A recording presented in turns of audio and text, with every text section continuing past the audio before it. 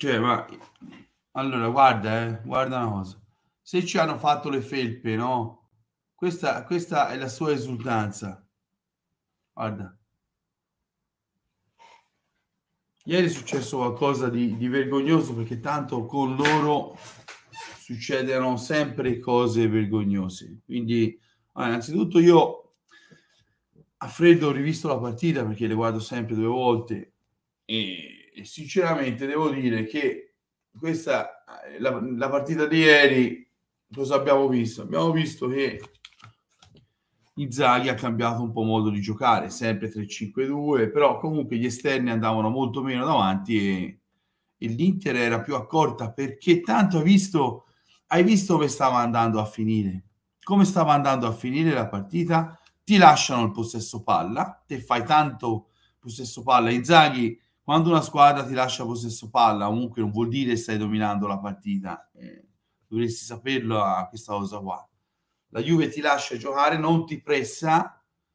L'Inter comunque era una partita da pareggio perché due occasioni noi, due occasioni loro, ma come stava andando a finire? Che la stavano vincendo loro. Di partenza, boom, eh, Moscio Vileda lì chiappa, tira, va addosso a bastoni e fa gol. Come stava andando a finire? Meno male Bremer ci, ci fa quel regalo al 93esimo, poi anche sui tre minuti di recupero con quello che solamente il balletto di Moscio Vileda è durato dieci minuti, ma comunque lasciamo perdere. Però devo dire comunque l'Inter è stata attenta, era una squadra, ieri era concentrata, diciamo, aveva voglia di fare bene, ecco, questo si è visto. Il risultato non è male, secondo me. Non è male, anche perché poi alla fine eh, loro dovranno fare gol. Eh, a Milano, la, la, finale è a Milano e questa è la finale è Inter Juventus e questa è la finale di Coppa Italia, ragazzi. Perché chi vince questa partita, secondo me, vince la Coppa. Quindi diciamo che qualcosa di positivo ieri si è visto, almeno nella voglia e nella concentrazione. No? Lasciarla. Poi queste sono partite, almeno per come la vedo io, siamo a un punto dove ormai io la qualità del gioco no, non la valuto più, a me interessa il risultato. Ti dico la verità, a me ieri interessava il risultato. 1-1 in casa loro non è un risultato da buttare, anzi, ma la cosa più vergognosa, è scontato dirlo ormai, ma va sottolineata, questa ragazzi non va lasciata passare. Lui esulta così, ha esultato così anche in nazionale, no? Con il saluto militare Cori razzisti, ci sono i video che quelle merde fanno i cori razzisti, lo butti fuori e siamo sempre lì. E la cosa più grave è che non parla nessuno all'Inter. Ragazzi, io non vi voglio dire chi tascia consente, ma se all'Inter non parla nessuno, voi siete complici di questo schifo. Bisogna farsi sentire. Non me ne frega nulla se il cinese è amico di Agnelli. Bisogna farsi sentire.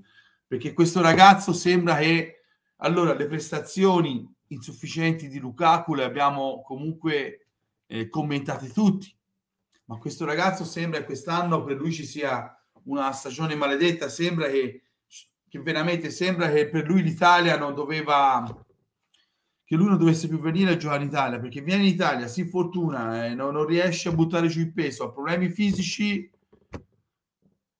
riesce a far gol su, solo sul rigore, esulta e lo buttano fuori, gli fanno i cori razzisti. Cioè, ragazzi, non lo so, fate voi, fate voi. Fate voi. Allora, se all'Inter non parla nessuno, ragazzi, voi state facendo passare una cosa che non si può far passare.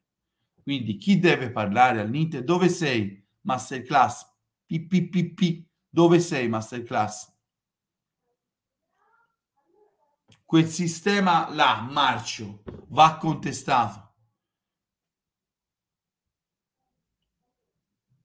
Prima di andare a battere il rigore, ti fanno il verso della scimmia, di cosa vogliamo ragionare? Quindi all'Inter io spero che qualcuno parli. È più grave non parlare ora del gol, che, delle due azioni Rabiot e quell'altro e Vlaovic che la prendono di mano. Eh? Attenzione, questo è grave, non ora fino a che si scherza ragazzi va bene questa non può passare eh.